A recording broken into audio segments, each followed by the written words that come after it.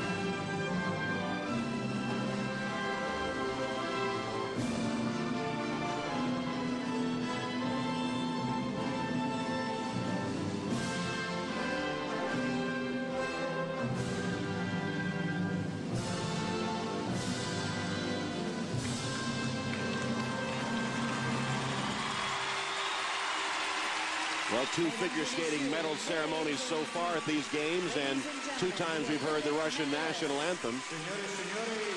Lambiel of Switzerland happy with all those Swiss fans in the arena, but no question that Plushenko is the best in the world.